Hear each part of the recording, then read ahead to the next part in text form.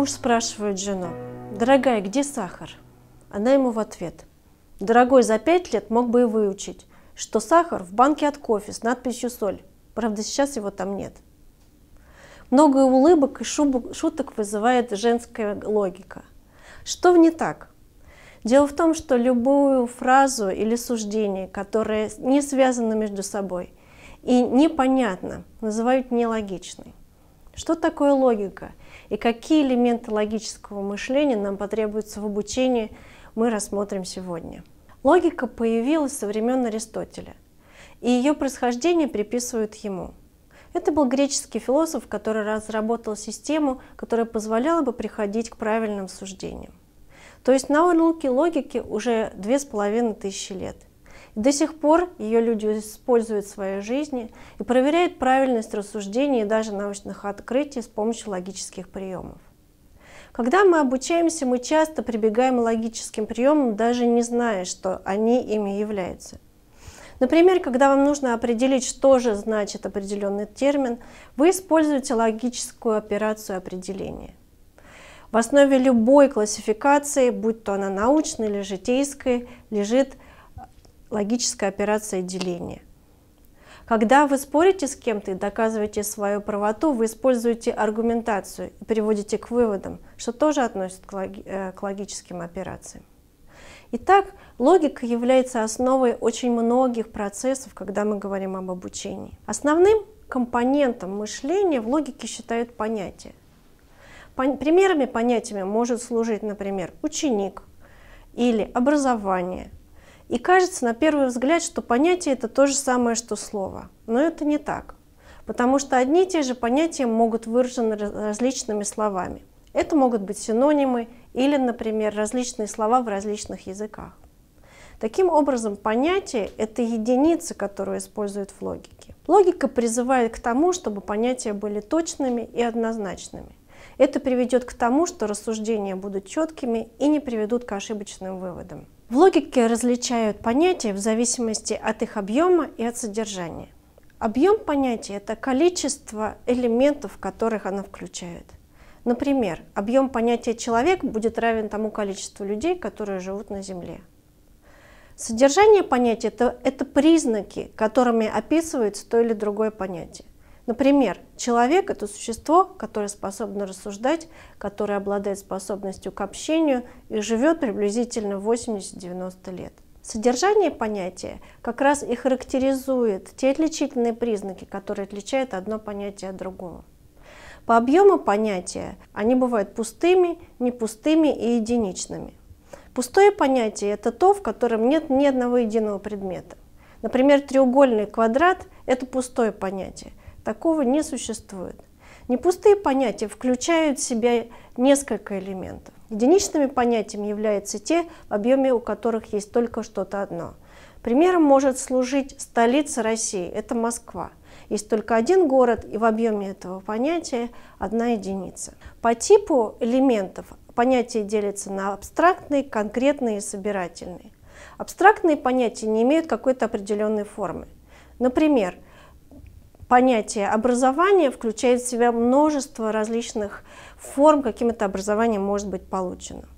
Конкретные понятия имеют конкретный предмет, который лежит в их корне. Например, деревяшка. Собирательные понятия включают в себя множество различных предметов, которые слегка отличаются по признакам.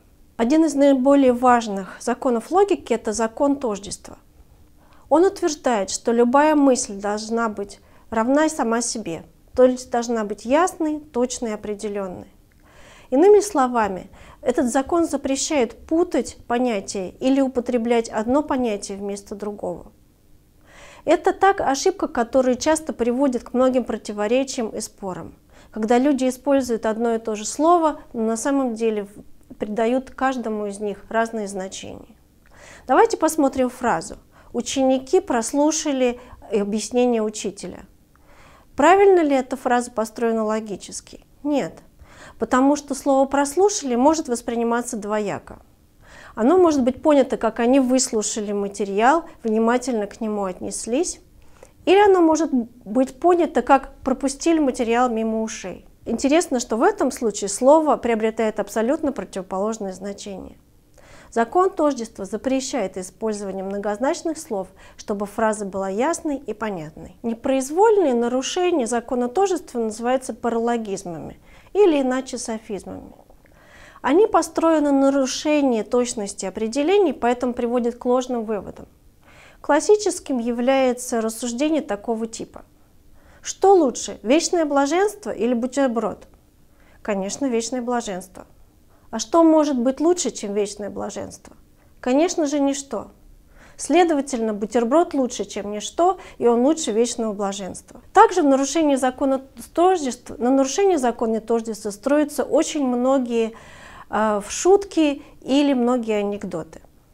Так, в романе «Мертвые души» Ноздрев назван историческим человеком, потому что он всегда попадал в какие-то истории. Именно на неправильном использовании слова «исторический» построена вся эта шутка. Многие анекдоты и смешные истории тоже строятся на неправильном употреблении понятий. Например, «Я сломал руку в двух местах. Больше не ходи в эти места». Или, например, человек приходит в гостиницу и спрашивает, есть ли у вас тихие номера? На что метрдотель отвечает ему, господин, у нас все номера тихие, но только вот жильцы иногда шумят.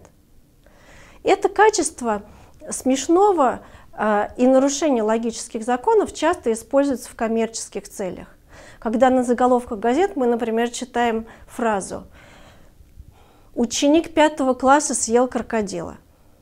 Позже, когда мы читаем заметку, мы понимаем, что при праздновании день рождения был изготовлен торт в виде крокодила, и ученик Васи пятого класса его съел правило, такие вещи приводят нас к разочарованию. Но журналисты используют нарушение закона тождества для того, чтобы привлечь свою аудиторию. И если вы все-таки купили эту газету, значит, они достигли своих целей. Логика не только предъявляет определенные требования к понятиям, но также занимается взаимоотношения, которые выстраиваются между понятиями. Какие могут быть взаимоотношения? В логике определяется два классических вида отношений. Это род-вид и часть целая. Отношение рост-вид можно наглядно показать таким образом. Это когда одно понятие включает под множество другого понятия. Так, например, родовым, родовым является понятие «человек», а видовым, например, человек с рыжим цветом волос. Мы понимаем, что людей с рыжим цветом волос намного меньше, чем людей в целом. Поэтому эти понятия относятся друг к другу как род-вид. Как проверить, правильно ли отношения выстроены? Если вы делаете суждение из этих отношений, оно истинно, значит, эти отношения выстроены правильно. Существуют также и другие отношения, как часть целая. Это понятно нам естественным образом, если мы рассматриваем, например, тело человека, то понимаем, что голова – это одна из его частей. Взаимоотношения часть целая и род-вид используются для некоторых операций между понятиями, которые тоже являются предметом изучения логики. На основании понятия род-вид строятся операции обобщения и ограничения понятий. Обобщением является переход от видового понятия к родовому понятию. Например, рыжий человек – это тоже человек. Или мужчины – это тоже люди. Или женщины – это тоже люди. Обобщить понятие – это значит перейти от понятия видового к понятию родовому. Попробуем обобщить понятие «круг». Обобщением понятия «круг» будет геометрическая фигура. Операция обратное обобщению называется ограничение. Например, попробуем ограничить понятие «студент». Видовым понятием от родового понятия «студент» будет, например, студент первого курса. Это частные случаи родового понятия. Если мы обобщение продолжаем дальше, то студент первого курса тоже можно ограничить и сказать, что а, Василий Петров, ученик первого курса медицинского училища и так далее. Операция ограничения обобщения довольно часто используется в учебной деятельности, когда нам требуется правильно построить классификацию и порядок написания письменных работ. В логике существует несколько взаимоотношений между понятиями. Понятия являются сравнимыми, если между ними есть хоть один общий признак. Например, кошка, собака и корова – будут сравнимые понятия, потому что это все живые существа. Понятия могут быть несравнимыми, если они не обладают ни, одного, ни одним общим признаком. Например, революция и морковка. Также понятия могут быть совместимыми и несовместимыми. Совместимыми понятиями являются те, которые имеют общие элементы. Несовместимыми понятиями являются те, которых таких элементов не наблюдается. Логическое мышление включает также в себя использование нескольких логических операций. Одной из логических операций является определение. Мы часто сталкиваемся с ним, когда изучаем значение терминов. Мы ищем это слово, и нам выдается э, какой-то словарь, который рассказывает и поясняет, что значит этот термин. Определение – это логическая операция, которая раскрывает признаки определенного понятия. Классическое построение определений требует соблюдения определенной схемы. Или понятие может быть определено через его родовое понятие. Например, астрономия – это наука о звездах. В этом случае наука является родовым понятием, а астрономия – водовым понятием. И это классическая формула определения. Для того, чтобы правильно строить определение, существуют определенные законы, которые говорят, каким образом выстроить правильное объединение. Существуют определенные законы, которые говорят о том, как должно быть построено определение. Еще одной операцией, которая часто используется в обучении, является деление понятий. Это логическая операция, которая раскрывает его объем. Рассмотрим пример, каким может быть деление понятий. Деление состоит из нескольких частей делимое понятие, результаты деления и основной признак, тот признак, по которому совершается деление. Например, люди бывают мужчинами и женщинами. Люди – это делимое понятие, мужчины и женщины – это результат деления, и половой признак – это основание деления, или тот признак, по которому это деление проводится. В зависимости от выбранного признака деление может быть различным. Так людей можно классифицировать не только по половому признаку, но также по местам, где они проживают, по тембру голоса или другим качествам, которые присущи человеку. Иногда деление называется дихотомическим по признаку А и не А. То есть цвета бывают белые и не белые. Такое деление всегда правильно, потому что оно полностью исчерпывает объем этого понятия. Как используется операция деления? Операция деления лежит в основе любой классификации. То есть, когда мы производим классификацию по какому-то признаку, фактически мы совершаем операцию деления родового понятия, переводим его к различным видам. Это нужно помнить, когда вы пишете ваши письменные работы или составляете любую структуру. Деление должно проводиться всегда по одному признаку. Есть также много правил, которые приписывают, каким образом может быть построено правильное деление.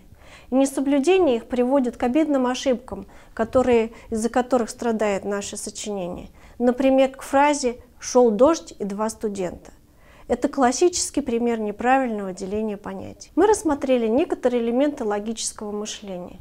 Что такое понятие, какие между ними существуют связи, какие есть логические законы. Законы определения, законы деления – Существует много других законов и конструкций, которые успешно применяются в научном познании и в обучении. Таким образом, логическое мышление является прекрасным аппаратом, который помогает нам рассуждать логически и помогает приходить к важным выводам. Кроме того, логика весьма занимательная наука, и заниматься ей на досуге – признак умного человека. Успешных вам занятий!